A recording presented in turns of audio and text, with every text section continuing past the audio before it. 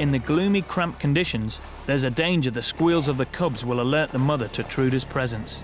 Gosh, this is incredible, isn't it?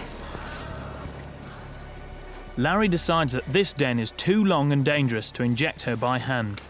Instead, he decides it'll be safer to fasten the syringe to a long pole. What's going to be quite difficult here is that because the syringe barrel basically is, is a good few feet away from you, it's going to be very difficult for Trude to feel when the needle's actually in through the skin uh, and she can then deliver the drug. So there's a bit of an art here, a bit of a technique. I can actually see and hear the cubs in there. There's, a, there's only black, black fluff, really. So it's quite hard to distinguish what is the mother bear, the sow, and, and the cub. Do you want me to shine the light? It's vital that only the mother is injected. An anesthetic of this dosage could prove fatal to a tiny cub.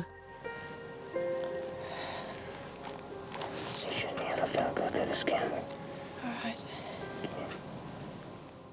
With the syringe at the end of a pole, it's almost impossible to tell if the drug is being delivered correctly. I can't push any further. Did you feel the touch of the skin? Yeah. The drug went in. Drug is in anyway. We're just waiting for a few minutes now to see if we can go and find out if she's um, sedated enough for us to start to take the cubs out. This is a really dangerous part. Trude has to crawl over the mother to get to the cubs. She'll soon find out if the bear's fully asleep. Oh gosh, how can you fit in there? Oh my god. Hi, babies. Ooh. All right, come on. Okay. All right. You can come stand by the scarf.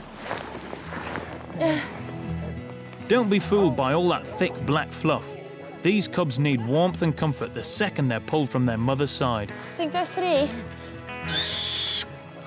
You got room in there for two? All right, come on, babe. Oh, they're small at this age. Uh, Okay, number three. Their temporary den whilst Trude sorts the mother out is going to be my jacket. It's a bit of a role reversal, me getting to play mother for a change. Just so you know, lads, there's no food in there, okay? I had to really overwin some phobias there because it's quite tight in there, and then these little babies are very cute. They're settling in nicely, mostly arguing over who gets the warmest spot. You got the easy part, mate. Hey, motherhood is never easy, okay? Anyway, I'm going back in. Okay. Well, I have to say, those little things were easy compared to the mother. It takes three of us to drag her out. Hips.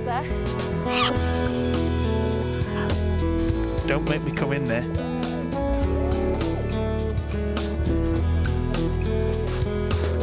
With Mum hauled out, we set to work before a sedative wears off.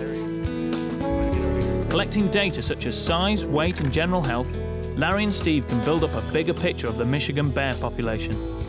This information will then be used to set sensible levels for sustainable conservation. Where's Daddy?